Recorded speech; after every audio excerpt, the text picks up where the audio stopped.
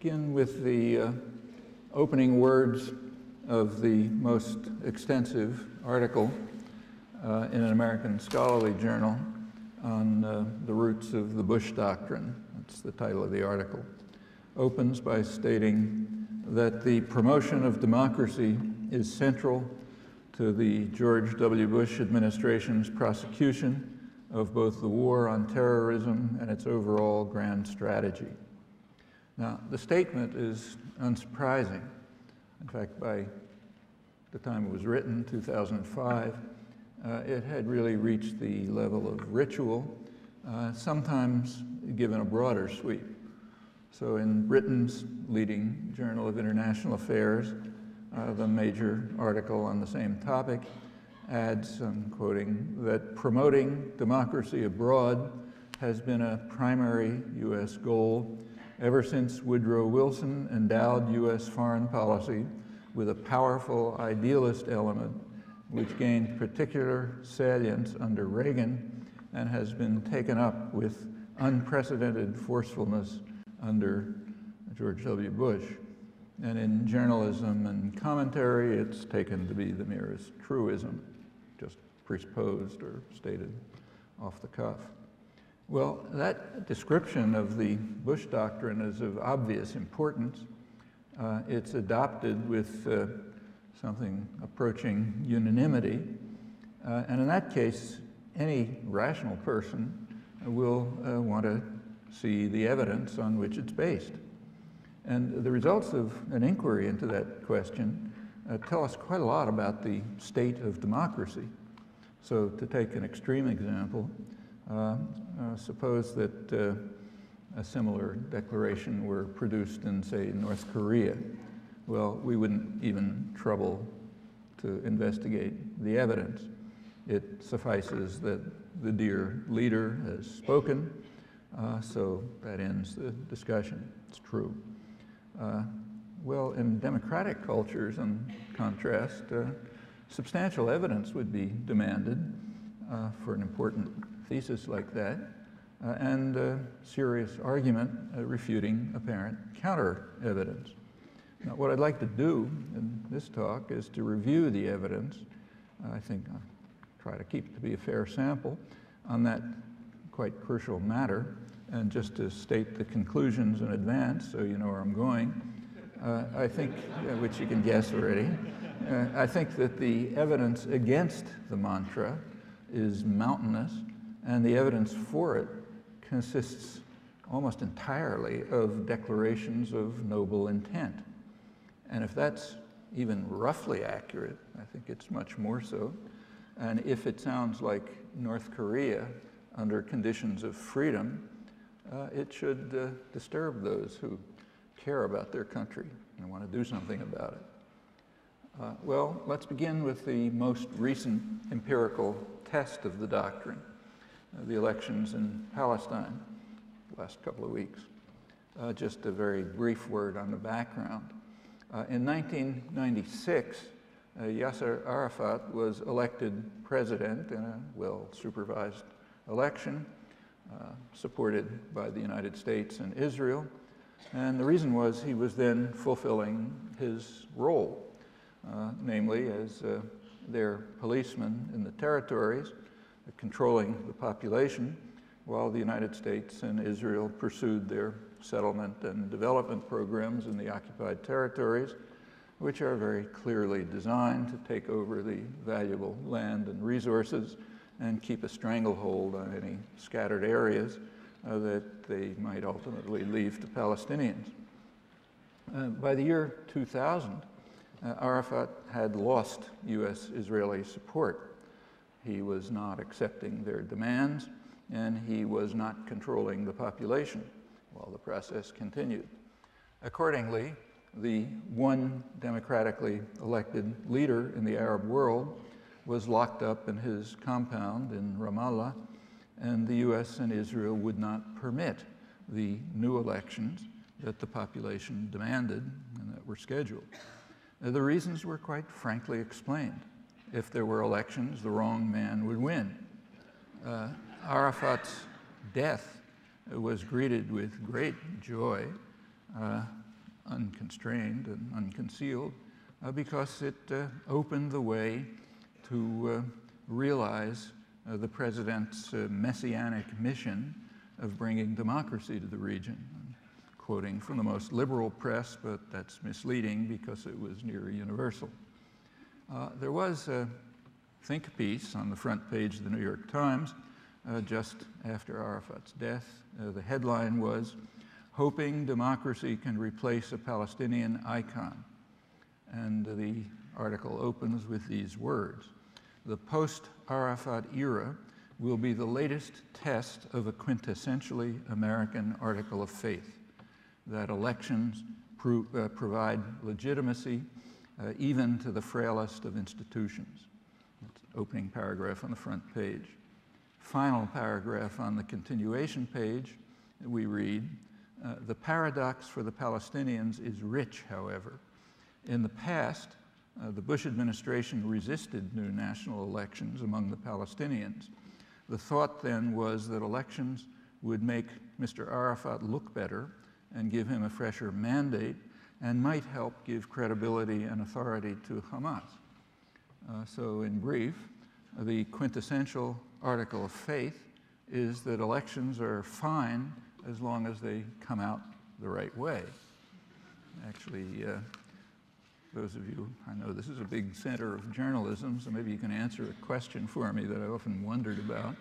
It's very common, I've found, in reading articles like this, that the final paragraph says something significant, and that the first paragraph uh, is propaganda. And that's, one of the reasons why I usually start reading articles with the last paragraph on the continuation page and then work my way up. And I, have often wondered whether journalists do that on purpose, uh, assuming that the, edit, the first paragraph is going to be for the headline writers, and that's the one that the editors will look at. And maybe readers who get down to the end of the continuation page might be interested enough to know something. Interesting question. I leave it to you. Exercise. Uh, well, uh, let's now turn to the past few weeks. Uh, there was an election. Uh, it was permitted uh, on the assumption that the U.S. candidates would easily win. However, as the election day approached, it was becoming clear that the outcome was not certain. Uh, so therefore, Washington resorted to standard methods of subversion. Uh, immediately before the elections, uh, USAID initiated development programs in an effort, I'm now quoting the Washington Post and the New York Times, in an effort to increase the popularity of the Palestinian Authority on the eve of crucial elections in which the governing party faces a serious challenge from the radical Islamic group Hamas, spending millions of dollars on quick projects to bolster the governing Fatah faction's image with voters and strengthen its hand in competing with the militant faction Hamas. Uh, that's the national press. Well, in the United States or any Western country, uh, even a hint of such foreign interference, uh, particularly from a long-standing enemy, uh, would totally destroy a candidate. But uh, deeply rooted imperial mentality legitimates such routine measures of subversion uh, of elections elsewhere uh, without comment, because it's our right well, the attempt resoundingly failed. So we next turn to the next phase, now underway. But let me just back up slightly. On February 12th, uh, the New York Times had a review by constitutional law professor Noah Feldman of Iraq fame, as you may remember. Uh, it was a review of a, a book uh, of uh, collected declarations of Osama bin Laden. And the review uh, uh, uh, runs through his descent uh, from merely horrible to ultimate evil. Uh, it goes step by step. And finally, you read the review, he reached the ultimate lower depths. Quoting the review, he said, Osama made the perverse claim that since the United States is a democracy, all, student, all citizens bear responsibility for its government's actions. and civilians are therefore fair targets. Okay, that's plainly ultimate evil. Uh, two days later, the lead article in the New York Times announced that the United States had joined Osama in the lower depths of evil. Uh, the article reported uh, US, the uh, US-Israeli conclusion that all Palestinians bear responsibility for their government, uh, so all civilians are fair targets and must suffer for electing Hamas. That's Osama's perverse claim. Uh, Palestinians, the article explained, many follow-up ones, uh, will be held hostage and punished uh, until they elect a government favored by the United States and Israel. And a series of specific mechanisms are outlined, which I won't review. You can read them in the newspapers. Some of them already in effect, others continuing. Uh, last week, Secretary of State Condoleezza Rice was traveling through the Middle East in an effort to convince the Arab states not to compensate for the funding cuts that are intended to starve the population into submission. Well, she failed. They don't understand democracy there. Uh, but uh, uh, in fact, only the European Union, which is easily intimidated, is willing to go along even partially. That leaves the United States and Israel in splendid isolation in adopting Osama's perverse doctrine. And in fact, for those of you who know the history, that's pretty much the way it's been for the last 30 years. Well, I don't want to pursue too many tangents, but uh, clearly uh, understanding oneself uh, should always be a very high priority. So perhaps it's worth uh, noting something that was missed in the review of Osama's descent to uh, utter barbarism. Uh, something was missed that one might imagine a respected law professor at NYU might know, as well as the editors of the New York Times. Uh, what was missed is that Osama's perverse claim has been official U.S. doctrine for years, often stated in virtually those words. Now, there's case after case, which there's no time to review here, but I ought to mention at least the classic example, which everyone ought to know, and that's Cuba. Uh, the United States has been running campaigns of terror and economic strangulation against Cuba for over 45 years. And the reasons are explicit in the internal record. Very free country. We have access to internal records, unusually so. So if we don't know about what our government is up to, that's by choice. We have more access than any country in the world. Uh, so you go back to uh, the Eisenhower administration. Uh, the uh, uh, high officials of the Eisenhower administration explained, I'm quoting, that the Cuban people are responsible for the regime, so the United States has the right to impose sanctions because if the Cuban people are hungry, they will throw Castro out. Kennedy came into office shortly after, and he agreed that uh, the embargo would hasten Castro's uh, uh, departure. Uh, as a result of what he called rising discomfort among hungry Cubans. And to expedite that outcome, he also launched a major campaign of international terrorism. Well, so it continued. The punishment of the people of Cuba for their crime intensified when Cuba was in dire straits after the collapse of the Soviet Union. Uh, the, was a, the author of the 1992 congressional legislation to tighten the blockade uh, proclaimed that, as he put it, my objective is to wreak havoc in Cuba so that the people will suffer and force government policy to change. That's liberal Democrat Robert Torricelli. Uh, the basic thinking was expressed right at the beginning by Deputy Assistant Secretary of State Lester Mallory in 1960 he wrote that Castro will be removed through disenchantment and disaffection based on economic dissatisfaction and hardship, so every possible means should be undertaken promptly to weaken the economic life of Cuba in order to bring, out, bring about hunger, desperation, and the overthrow of the government. And the basic thinking has not changed since. and the doctrine has been repeatedly applied in many countries. So what's happening in Palestine is not at all novel, uh, though it has obvious implications, uh, in particular uh, concerning the messianic mission. Well, there are, of course, reasons given for why the U.S. must adopt Osama's perverse claim and sink to the depths of uh, ultimate evil. The reasons are that Hamas's announced objectives are intolerable. And actually, a pretty good case can be made for that. Uh, but it's worth noticing that in basic respects, they are more forthcoming than the policies of the United States and Israel. And these policies are not just words, but they're being implemented. Well, again, time's short, so I leave that as an exercise for you, one very much worth pursuing. Maybe we can return to it discussion later.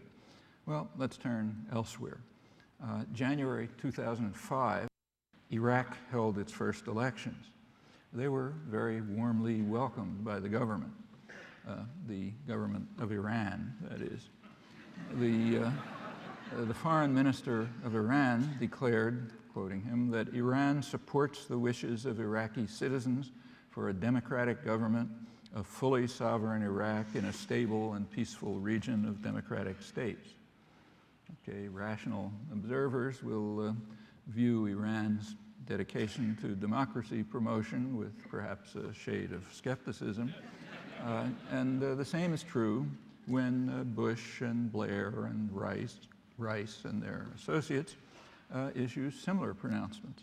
In fact, it's far more clear in their case for reasons that it takes some effort to ignore. Uh, the most glaring of these reasons is, in fact, occasionally articulated, though very rarely.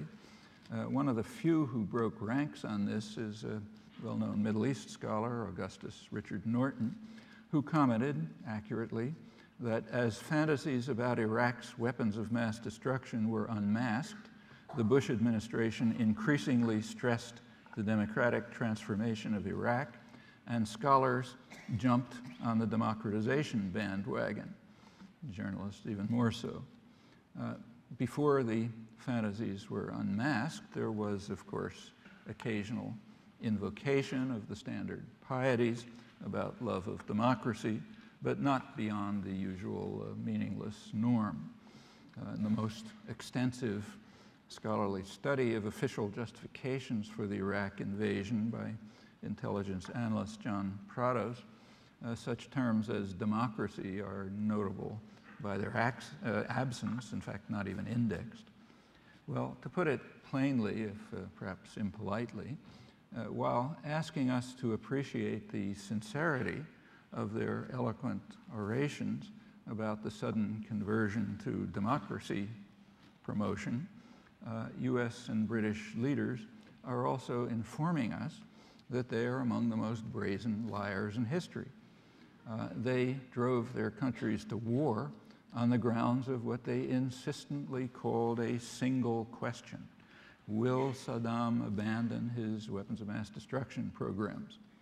Well, by August 2003, uh, when the tale was falling to pieces, uh, the New York Times reported that uh, as the search for illegal weapons in Iraq continues without success, uh, the Bush administration has moved to emphasize a different rationale for the war against Saddam Hussein, using Iraq as a linchpin to transform the Middle East to vibrant democracies, the new mantra.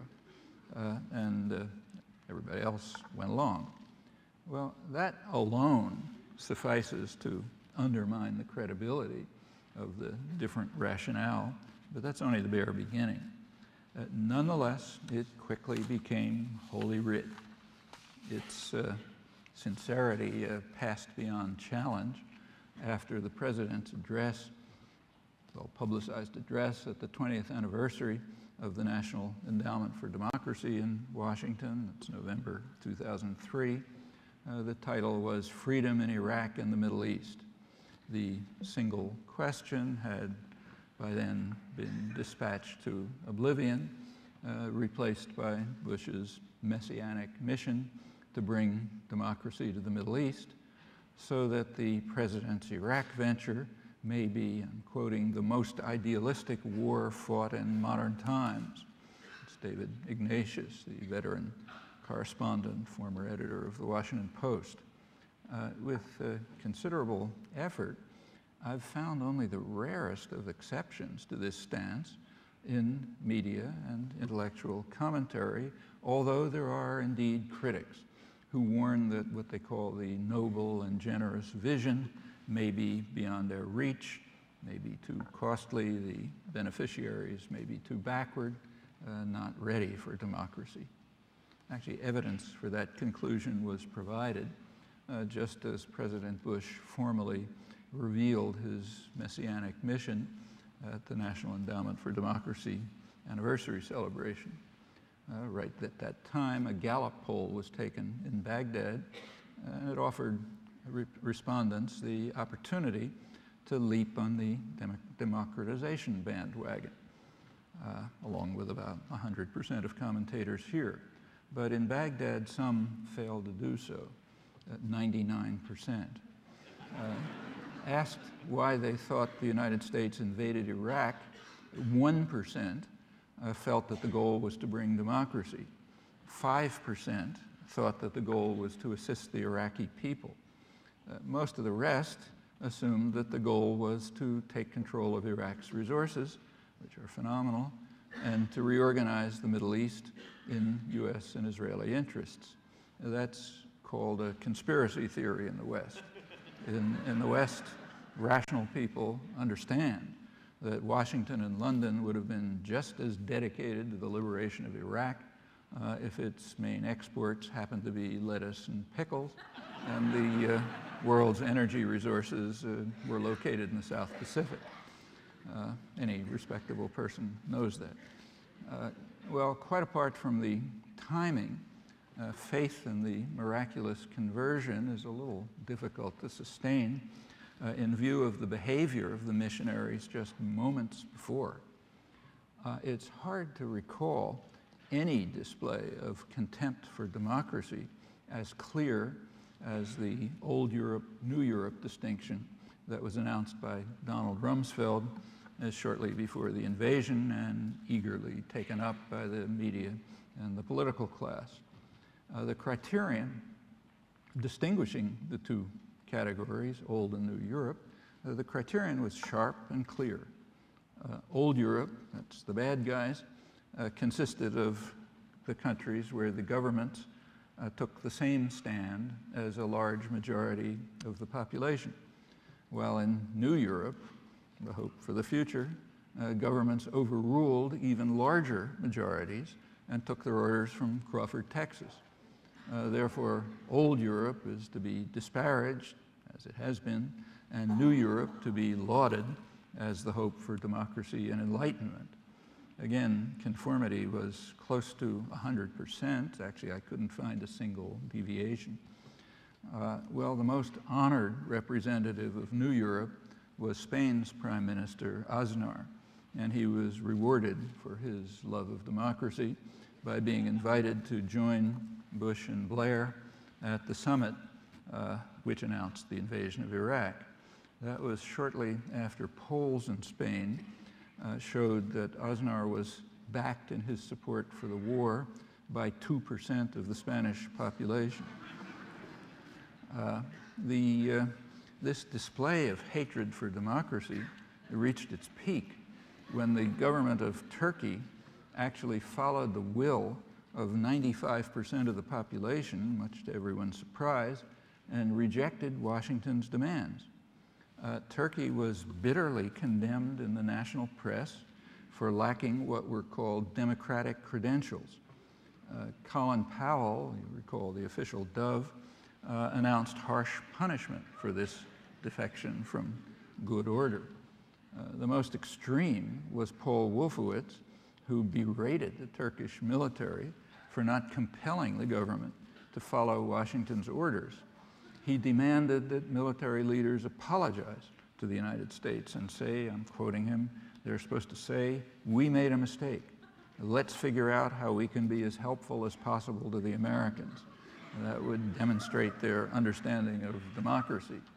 So it's maybe small wonder that he was designated idealist in chief uh, by David Ignatius of the Post, uh, though he's not without flaws. Ignatius went on to say that he might be too idealistic, uh, so much so that his passion for the noble goals of the war in Iraq might overwhelm the prudence and pragmatism that normally guide war uh, planners. Actually, that's only one of innumerable accolades to this heroic figure whose passion is the advance of democracy, uh, one of the most consistent themes of his career. I'm just uh, selecting a few typical phrases from the elite liberal press. Uh, the accolades, and there were many, scrupulously ignored his record, which is one of consistent and appalling contempt for human rights and democracy. It goes back to his Reagan administration days and since. To mention just one example, he was perhaps the most enthusiastic supporter of General Suharto of Indonesia, and he actually persisted even after this grand mass murderer and torturer who ranks with Saddam Hussein, even after he was abandoned by Washington when he committed his first crime in 1998, namely dragging his feet on IMF orders and failing to control the population. Uh, Wolfowitz, as you probably know, uh, went on to become president of the World Bank, where his main mission was explained, press, as uh, to control third world corruption. Uh, uh, that's what the bank's not going to concentrate on. And he has real experience in that just as much as with uh, human rights and democracy. His great friend Suharto was ranked by Transparency International, which monitors international corruption. Uh, Suharto is ranked as far and away the most corrupt leader. Uh, his uh, robbery of the Indonesian people probably approximates their strangling, the debt that's strangling the country. Uh, the second one, I think, was Mobutu, who was way behind him. Uh, so this is all under Wolfowitz's tutelage and with his support. So he's in a good position to undertake that task too. Uh, well, meanwhile, uh, Bush and company uh, pursued their mission in the traditional domain of U.S. power, Latin America. in 2002, they supported a military coup to overthrow the elected government of Venezuela, uh, but they had to slink away in the face of overwhelming opposition and condemnation in Latin America, uh, where the population uh, also seems to be deficient in their understanding of democracy uh, and therefore does not admire US-backed military coups to overthrow elected governments. Uh, after a popular uprising restored the government, uh, Washington turned to subversion under the natural guise of supporting democracy. That's what's now underway. And again, such actions by a foreign government within the United States would never be tolerated particularly after they had just supported a military coup to overthrow the civilian government. But again, the imperial mentality allows them, uh, in a traditional dependency, allows them to proceed without comment. Check and see. Uh, there's an official justification for this. The official justification is that the Chavez government in uh, Venezuela is not democratic. And that's easily proven. Uh, Washington opposes it. Uh, accordingly, it can have no relevance that Chavez has repeatedly won monitored elections and referenda despite bitter media hostility, nor does it matter that his popularity ratings are very high, uh, or that Latin America's major polling organization recently found that while satisfaction with democracy continues its ominous decline throughout Latin America, uh, there are a few exceptions. Uh, leading the list of exceptions is Venezuela, where support for democracy climbed sharply to 75% through the Chavez years, and the country now leads Latin America in support for the elected government. Uh, just a few days ago, polls released by the North American Opinion, by North American Opinion Research found that two-thirds of the population intend to vote for Chavez in the next election, and 4% for the next highest candidate, the opposition candidate. But what Venezuelans think is plainly irrelevant. Our leader has spoken, uh, so therefore uh, the government's anti-democratic.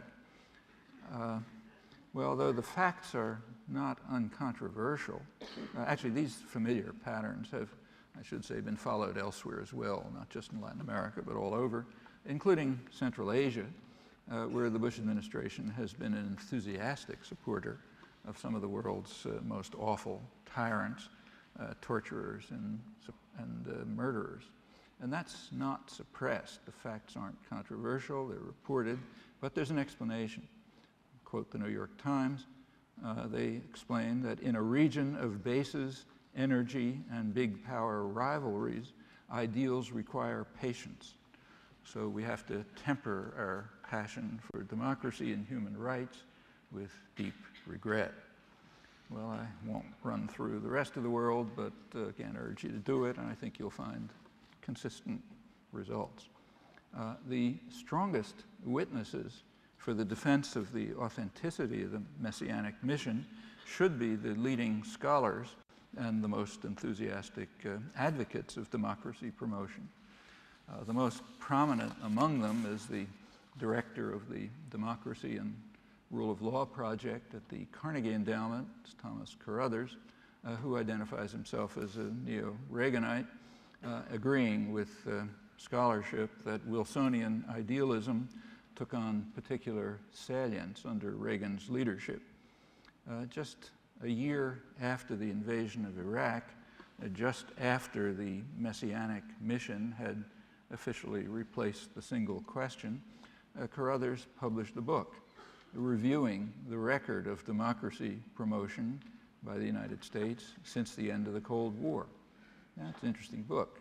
He finds what he calls a strong line of continuity running through all administrations in the post-Cold War era, including Bush number two, namely, democracy is promoted by the United States if and only if it conforms to strategic and economic interests. Uh, he finds that all administrations are schizophrenic.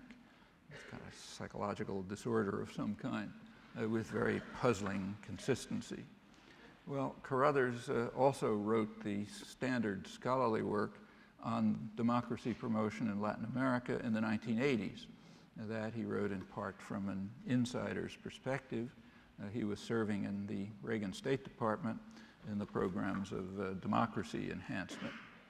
And Carothers reviews the programs. He regards them as sincere, uh, but he points out that they were a failure and he's an honest scholar. He points out that they were a systematic failure, uh, where U.S. influence was least in South America, progress toward democracy was greatest, uh, despite Reagan's attempting to impede it uh, by embracing right-wing dictators. Uh, where U.S. influence was strongest, meaning the regions nearby, progress was least. And the reasons, Carothers explained, are that Washington would tolerate only limited top-down forms of democratic change that did not risk upsetting the traditional structures of power with which the United States has been allied in quite undemocratic societies. So in short, the strong line of continuity goes back a decade earlier uh, to the Reagan years when the powerful idealistic element in traditional U.S. policy uh, gained particular salience, according to scholarship. Uh, nonetheless, uh, the dedication of our leaders to the principle is beyond question, and today we must believe that Bush is dedicated to the messianic vision of creating a sovereign democratic Iraq and bringing democracy everywhere. Well, in fact, the strong line of continuity goes back much farther. Uh, democracy promotion has always been proclaimed as a guiding vision, and it isn't even controversial that the U.S. regularly overthrew parliamentary democracies, uh, often installing or supporting brutal tyrannies, uh, Iran, Guatemala, Brazil, Chile, long list of others. Uh, there were Cold War pretexts, but they regular, regularly collapse on the slightest investigation. Well, in his 2004 book, uh, Carothers predicted with regret that Washington's Iraq policies would extend the strong line of continuity. In his words, he feared that they will likely exhibit similar contradictions between stated principles and political reality. And in fact, those predictions were being fulfilled as his book went to press. Uh, the occupation authorities uh, tried in every way they could to avert the threat of democracy in Iraq, but they were compelled with great reluctance to abandon their plans to impose a constitution uh, and to prevent elections. Uh, very few competent observers, none that I know, would disagree with the editors of the world's leading business newspaper, the London Financial Times, that the reason the elections took place was the insistence of the Grand Ayatollah Ali Sistani, who vetoed three schemes by the US led occupation authorities to shelve or dilute elections. The veteran Middle East correspondent Patrick Cockburn, very knowledgeable uh, and incidentally non embedded, uh, adds that uh, it was only when it became clear that the United States could not withstand a Shia uprising that elections turned out to have been an American goal all along. Uh, in, in fact, the elections were a triumph of mass nonviolent resistance, which compelled the occupiers to allow them to take place, and then routinely, of course, uh, took credit for them.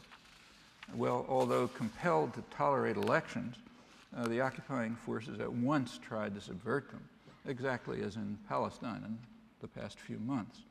There was a U.S. candidate, Iyad Allawi. He was given every possible advantage uh, state resources, access to television, support of the military occupation, and so on. And here too, as in Palestine, subversion was a resounding failure.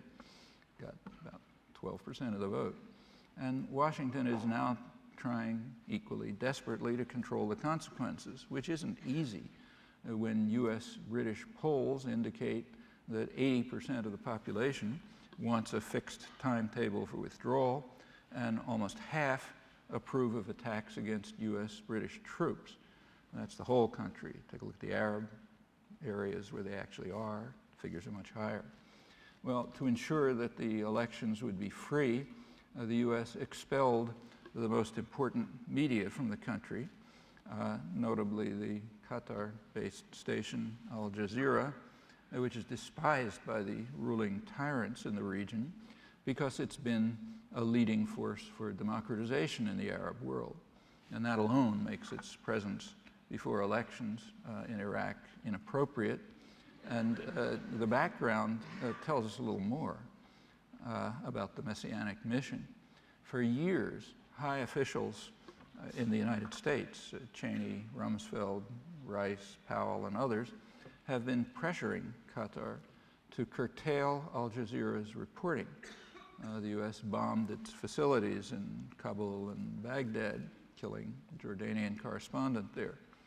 Uh, U.S. pressure, now quoting the New York Times, uh, U.S. pressure was so intense that the government of Qatar is accelerating plans to put Al Jazeera on the market, though Bush administration officials counter that a privately owned station in the region uh, may be no better from their point of view.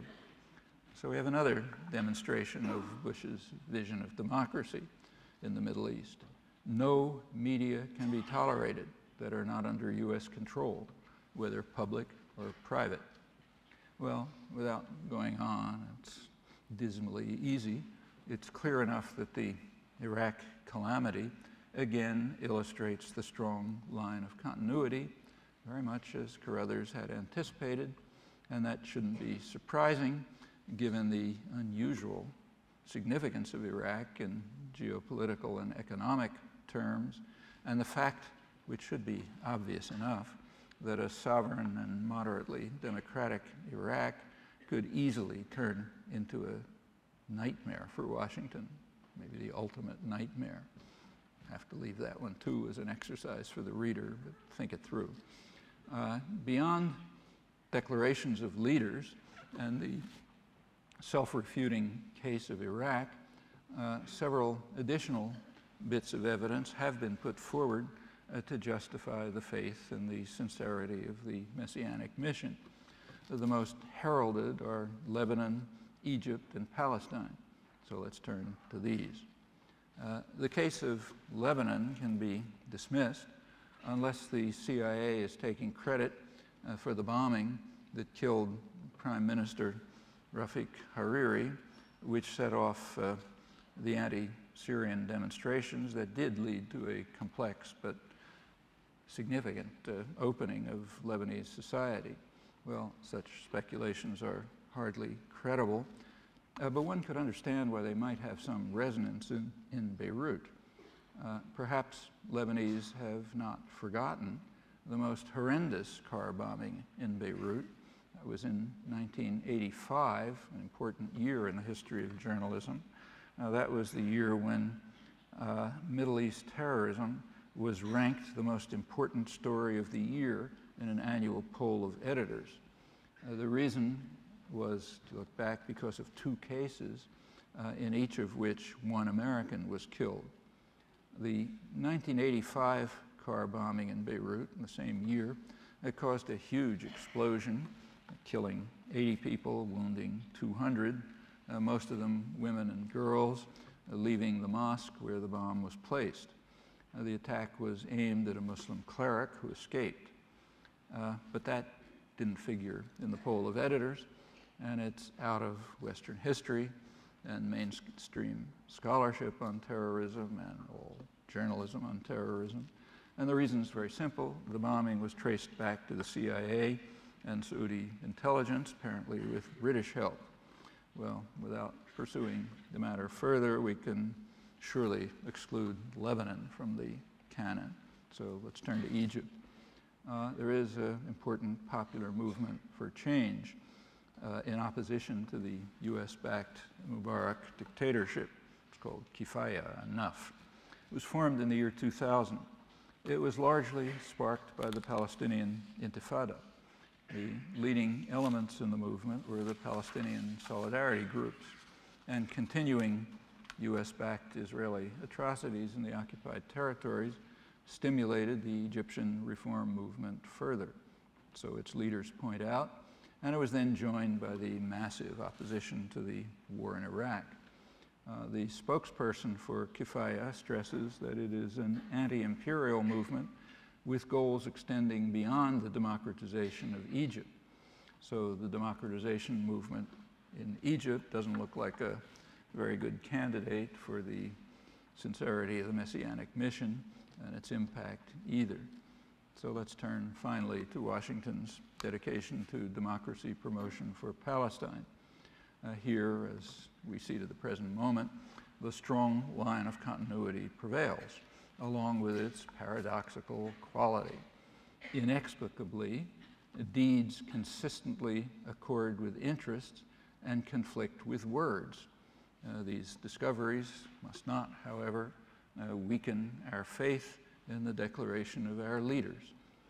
Uh, and if that sounds like an unmentionable country, I can't help it. Uh, Bush uh, proceeded to amplify his vision, as the press always calls it, uh, by endorsing Israel's takeover of settlement blocks in the West Bank to solidify control over the regions uh, that uh, uh the U.S. and Israel are now effectively incorporating behind the separation wall. Uh, that's in defiance of a World Court judgment uh, reaffirming the conclusion of the Security Council and others that it violates international law. There was one dissent to the World Court ruling, U.S. Justice Buergenthal, but he dissented on very narrow grounds. He agreed with the court on the crucial issues. To quote Buergenthal's separate declaration, the Fourth Geneva Convention and international human rights law are applicable to the occupied Palestinian territory, and since all Israeli settlements in the occupied territories are in violation of the convention, the segments of the wall being built by Israel to protect the settlements are ipso facto in violation of international humanitarian law. It's about 85% of the wall, according to Human Rights Watch. Uh, and the same holds for the other US backed Israeli actions to take over va valuable land and resources, leaving the area fragmented, uncontroversially, all blatantly illegal in violation of the foundations of international humanitarian law, as just ruled again by the World Court unanimously. Uh, the actual meaning of the US Israeli programs is very clear from a look at the maps. Uh, if you look, you find that the basic plan uh, includes two major salients extending from Israel through the West Bank. That creates three cantons virtually separated all of them virtually separated from whatever is to be left of Arab East Jerusalem, which is the center of Palestinian commercial, cultural, political life. It's where the institutions are, hospitals and everything else. Uh, the Israeli settlements and the massive infrastructure projects are to be incorporated within Israel with Bush's blessing, uh, leaving the remaining fragments in Palestine unviable, uh, with the expectation that the population will either leave or disappear from sight in something that may be called a state. Uh, and just recently it was formally announced that Israel will hold the Jordan Valley, from which Palestinians are being removed in favor of uh, subsidized Israeli settlers. Uh, that means that the remaining cantons will effectively be prisons, uh, much like Gaza, uh, which is described by Israeli human rights organizations as the world's largest prison. Uh, well, there's no time here to review the diplomatic record during the 38 years of the occupation, but it is so consistent and so extensively documented that it takes real diligence and subordination to power, not to see it and to comprehend it. The record reveals with dramatic clarity that throughout this whole period, uh, 30, over 30 years clearly, uh, the U.S. has unilaterally barred an overwhelming international consensus on a two-state political settlement, and it still does uh, more forcefully today than ever before and now that it is guided by the president's inspiring vision. Actually, there's been one departure in this consistent rejectionism. That was in January 2001. It's the last month of Clinton's administration. For one week in January, high-level Israeli and Palestinian negotiators met in Taba and came fairly close to reaching an agreement that was sort of approaching the long-standing international consensus. However, Israel called off the negotiations. Uh, the two parties then issued a joint statement uh, declaring that they have never been closer to reaching an agreement, and it is thus our shared belief that the remaining gaps could be bridged with the resumption of negotiations. Well, negotiations were not resumed. Bush came in, uh, but they did continue unofficially, and they led to the announcement of the Geneva Accord, as it's called, in December of 2002, was released in Geneva, uh, based on discussions with high-level uh, negotiators on both sides. Uh, actually, the Geneva Accord came very close to the international consensus, which is overwhelmingly favored internationally, and is incidentally favored by a large majority of Americans. Uh, the Geneva Accord was welcomed publicly by most of the world. It was rejected by Israel, was simply dismissed by Washington.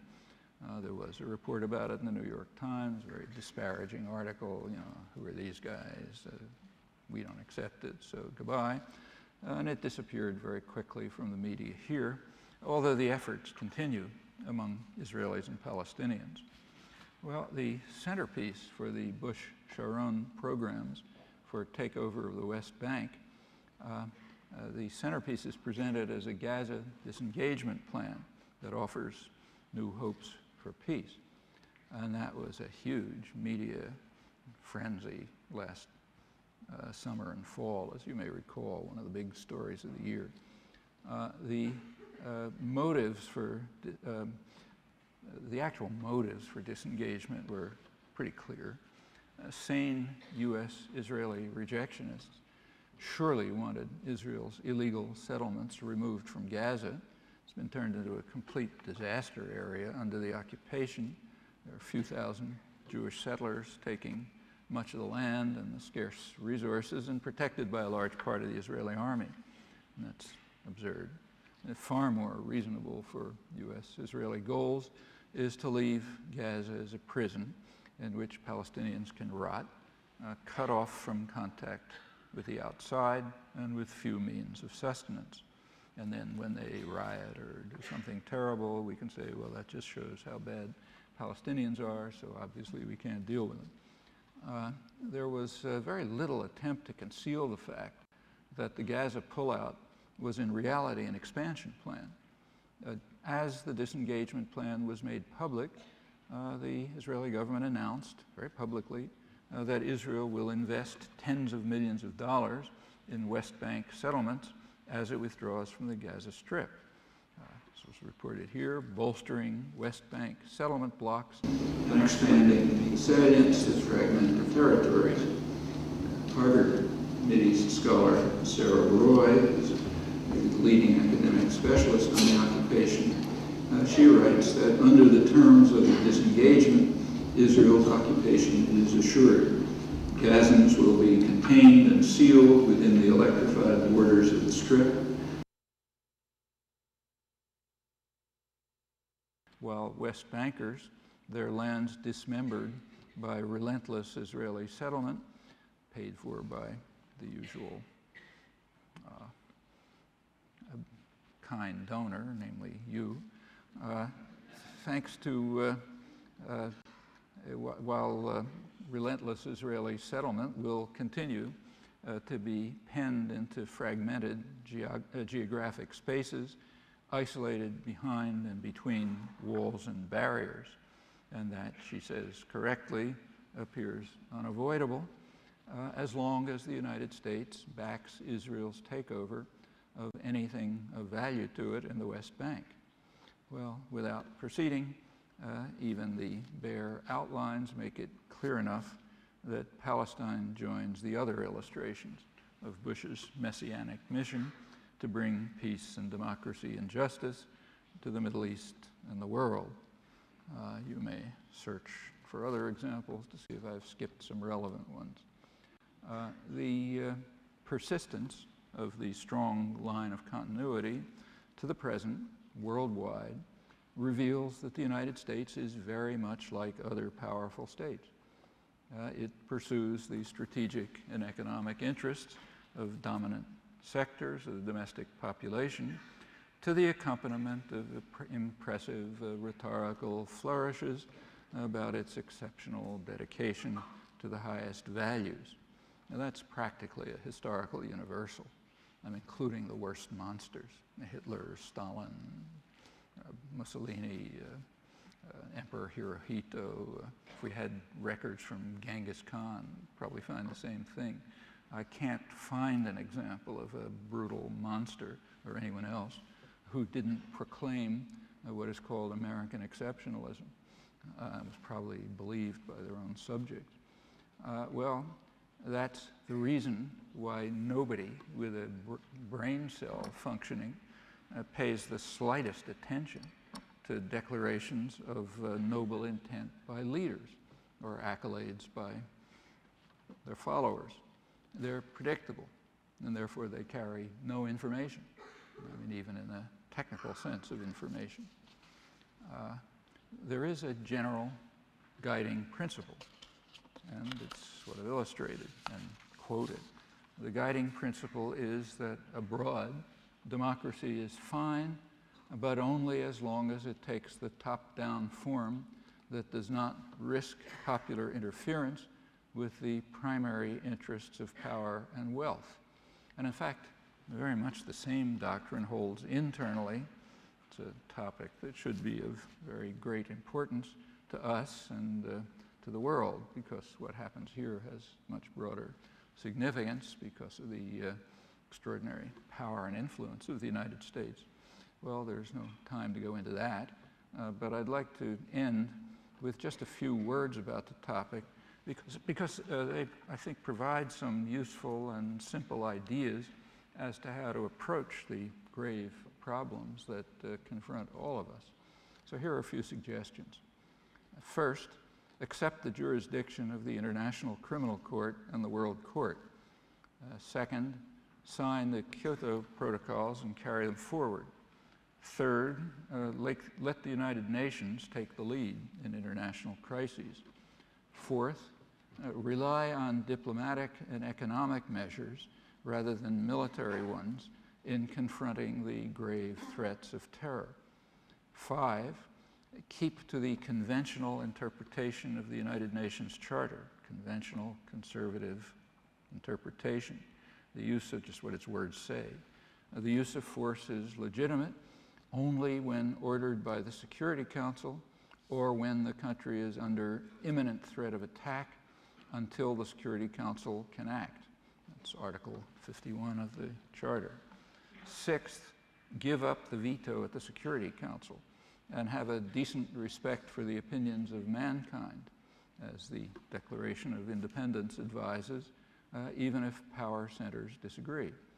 Seventh, uh, cut back sharply on military spending and sharply increase social spending. Health, uh, uh, uh, health, education, renewable energy, and so on. Actually, for people who believe in democracy, these are very conservative suggestions. And if there were any conservatives in the country, they'd all be in favor of them. There's a very simple reason for it. These are the opinions of the majority of the US population. Uh, in most cases, the overwhelming majority. They're in radical opposition to public policy, in most cases, a bipartisan consensus. Now, very few citizens are aware of these facts, and there's a reason. Uh, these are in-depth public opinion studies taken at very crucial moments by the most prestigious institutions, but they are scarcely reported, some cases not reported at all, uh, when they reveal facts like these, as they regularly do. And that record is highly instructive, especially for people who are interested in democracy promotion at home. Well, these are far from the only constructive suggestions that one can think of but they're a pretty good start. Uh, and there are also, they can be supplemented with some simple truths that can be quite useful if we abide by them. One is to take democracy seriously. Another is to pay some attention to fact and elementary moral principle. Another is to refuse to accept the self-serving contention of the powerful that what happened in the past can be forgotten uh, because we have undergone a miraculous uh, change of course, uh, something that happens every few years is easily demonstrated, and other simple truths. Uh, they don't answer every question by any means, uh, but they do carry us a considerable way forward toward developing more specific and detailed answers. And more important, uh, they open the way to implementing them opportunities that are readily within our grasp if we can free ourselves from the shackles of doctrine and imposed illusion.